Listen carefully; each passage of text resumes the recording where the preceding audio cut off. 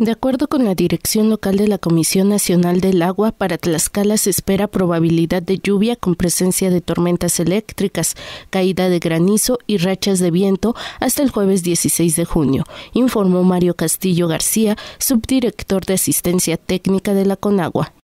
está pronosticado este, cielo medio nublado a nublado, con una, una probabilidad de ocurrencia de lluvia del 80% lluvias fuertes entre 25 y 50 milímetros asociados a actividad eléctrica y, potenciales granizadas.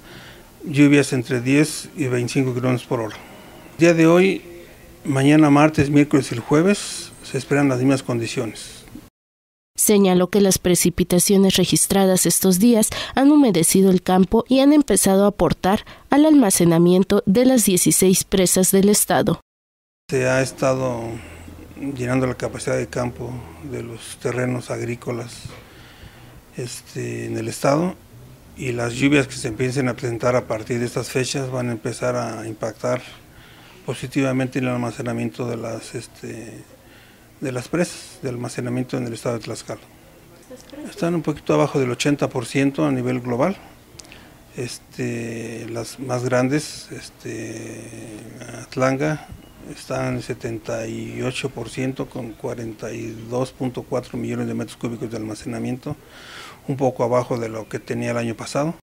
Castillo García detalló que para julio se espera que las precipitaciones superen la media histórica, aunque en agosto se verán disminuidas.